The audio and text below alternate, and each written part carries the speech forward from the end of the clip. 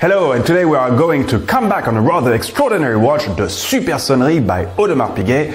And to be more precise, we will focus on its chiming mechanism and some of its very innovative acoustic features since AP opened their doors to us and let us see some of these watches currently in production and we are talking very small numbers per year.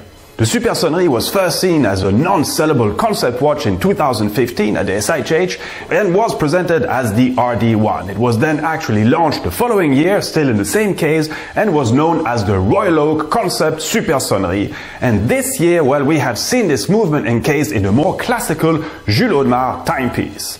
The goal of this development was threefold. Well, first AP wanted to create a waterproof minute repeater watch, something that goes uh, against all established uh, principle as you need the sound created within the case to escape outside of it to hear it well. This is something that had already been tried, but with mixed results precisely because of the sound being entrapped. Well, secondly, and in contrast to what I've just said, AP wanted exceptional sound quality with a clear tone and unprecedented volume for a chiming wash. As simple as that.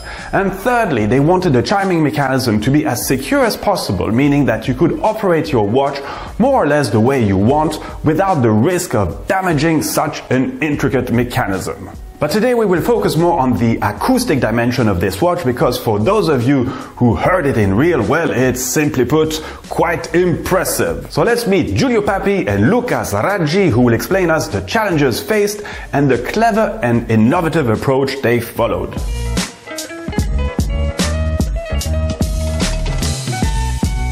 Une répétition minute, en fait, c'est un cadran acoustique. Et là, on va délecter un autre sens qui est l'oreille. Et euh, euh, c'est quelque chose, enfin c'est un sens qui est autant important que la vue.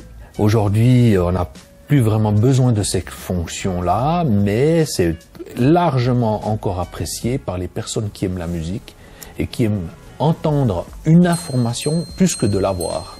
Et c'est un instrument musical qui doit créer vraiment une, euh, une cadence hein, de, de coups, de frappes, pour donner l'heure, l'écart, le nombre de minutes.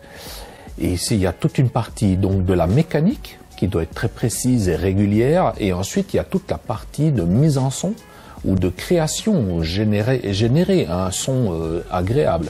Et euh, notre problème à nous, c'était de comment régler maintenant ces timbres.